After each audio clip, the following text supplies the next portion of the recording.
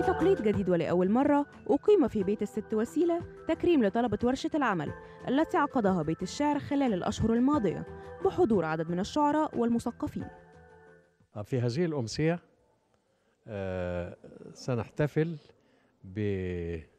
بتوزيع آه، الشهادات على الذين آه، حضروا حلق الحلقة الدراسية حول الشعر. نحن أقمنا حلقة دراسية آه، لمجموعة من آه، الشعراء ال- ومحبي الشعر آه، الذين كانوا محتاجين إلى أن يعرفوا ما معنى الشعر ومعنى اللغة الشعرية ومعنى الصورة الشعرية ومعنى الإيقاع ومعنى العروض والوزن.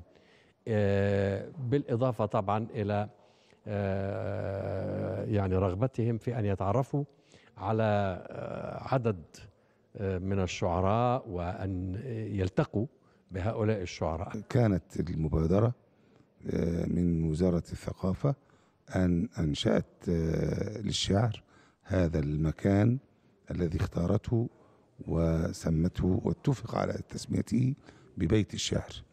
وفعلا آه، منذ أن أنشئ هذا البيت وهو يهتم بكل آه، الأحداث الشعرية وبكل ما يدور حوله وهناك في كل يوم أحد من كل أسبوع ندوة خاصة تدور إما عن الشعر أو عن نقد الشعر سواء كان الشعر للشباب أو كان شعرا للكبار. وأم أو ضيوف من خارج مصر أيضا آه، يأتون من الخارج ويشاركون في هذا النشاط ال- الذي يقوم به بيت الشعر. فأدرك أن الحقيقة والجمال ألهمت ثورات الربيع العربية الشعراء من مختلف الأعمار ليجعلوا شعر ما بعد الثورات يجمع ما بين أصالة الماضي والحاضر.